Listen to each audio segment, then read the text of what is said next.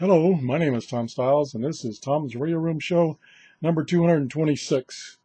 And what you're looking at here is a radio I got this week from Amazon, and it was um, $12.95, which uh, some of the other models of this radio, which I don't know how you pronounce it, Chibo or Kachibo or something like that, um, have gotten pretty good reviews, but they cost much more. So I thought, what the heck? I, I'm always looking for an inexpensive shortwave radio that I can throw in my truck and just leave it in there. And when I have to uh, go somewhere and wait around, um, I can pull it out and play with it and uh, see what I can tune in. And I and I don't since you know, it's less than $20. I don't have to worry about it getting stolen or damaged or the batteries leak. I don't have to worry about it. Just, if it's bad, throw it away and get another one. So, here is this little guy. It's the model number is KK1012. And like I say, it's uh, available on Amazon for, I think I got it on sale, and that's what caught my eye, for $10. And the price now is $12.95 and it includes, this is interesting, it includes AM, FM, shortwave, and the analog TV channels. You know, when we used, you know, when TV in the United States was analog a couple years ago, it would receive the audio on those TV stations. Well, unfortunately, um, the TV in the United States has gone digital. So you can't really receive anything on this anymore as far as TV. I don't know what else you might find up in that area in that band. I have not tried that, but be curious to see what's up there. The shortwave is broken down into eight subbands. And so these are the eight subbands you're seeing here. Let me uh, do a little zoom in here. So you can see the video a little better. There we go. And that is selected by this switch up here. This uh, switches between medium wave and the seven, I mean eight shortwave bands. Um, on this side, we have, this is the on-off switch slash volume switch. This is a headphone jack, and this is a power jack. Uh, nothing excited on the, exciting on the back. It's powered by two AA batteries. There's a little time zone map there. That's kind of nice they stick that on there. And then coming over this side is the tuning dial, which um, this is the downfall of this radio as far as I'm concerned. You know, I saw the ad and I saw this tuning dial here and I thought, that looks like a pretty good tuning dial. You don't have to use those buttons to tune, actually turn the knob. Now, it has a drawback, which I'll get to in a few minutes. Okay, and then it has a couple of indicators. One indicator, the first one there, with my finger's in the way, is an LED that tells you that you've tuned in the station properly. At least it thinks you've tuned it in properly. The next one is whether you're receiving uh, medium wave slash short wave via the switch up here.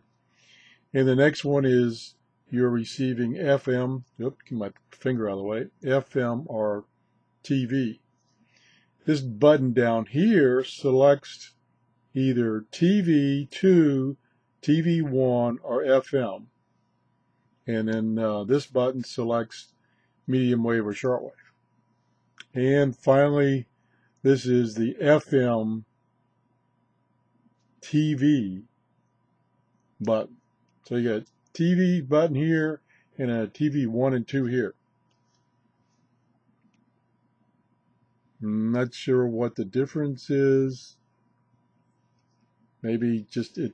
Maybe they break up the TV band into three bands. Don't really care about that anyway, so it doesn't matter.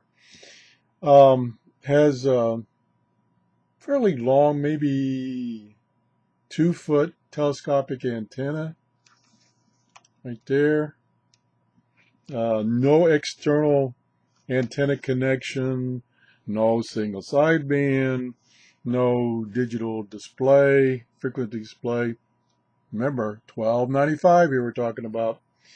Um, and I've used it a couple of nights. Unfortunately, right now I'm recording in the morning, so there's not much on on shortwave. Um, and it picks up a lot of stations, but here's the but.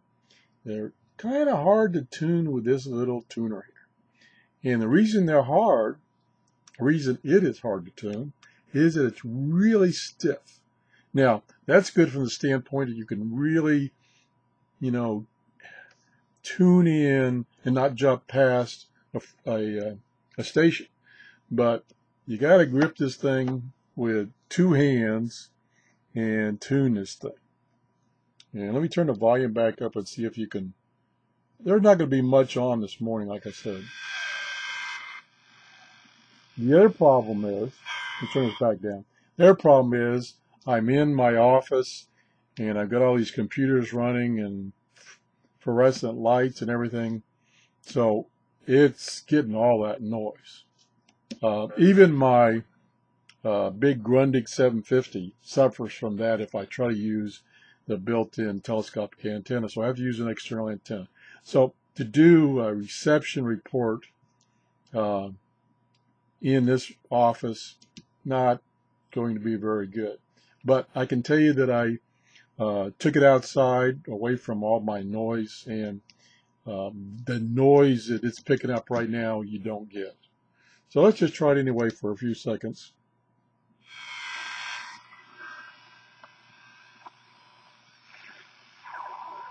Sorry, my big hands in the way, arm.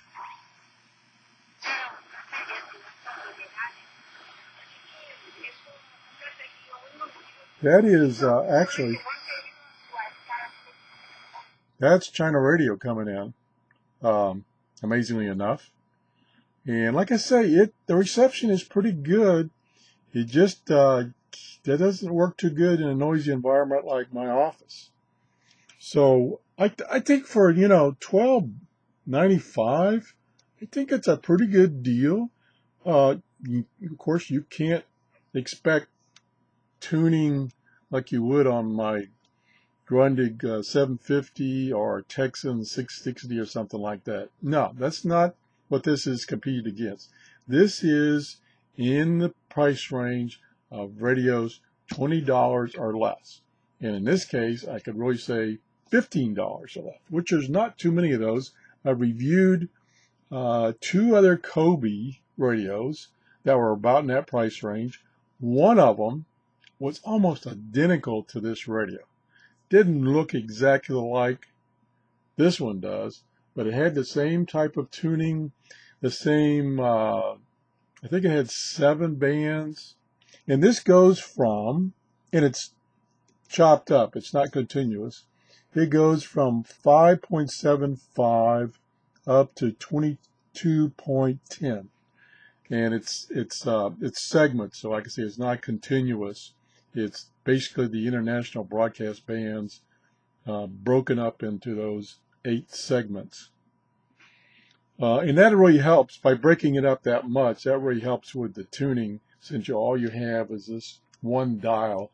You have no fine tuning at all. So anyway, um, that's the show for today. Again, this is uh, Kachibo, I think, KK1012 it's on sale on Amazon right now for $12.95, I believe. So if you have any questions, have any comments, please do that. Make a comment. If you enjoyed re me reviewing these very inexpensive shortwave radios, please give me a thumbs up and I'll do some more. Uh, upcoming is I finally broke down and ordered one of those amplified antennas. I've seen very, very mixed reviews, kind of weighted on the negative side, but I thought, you know, I'm going to try it. The concept is really great. I just don't know if it's going to work. So I've ordered one of those. I should be getting in next week. I'll do a review of that. So that's the show for today. Thanks for watching. Bye bye.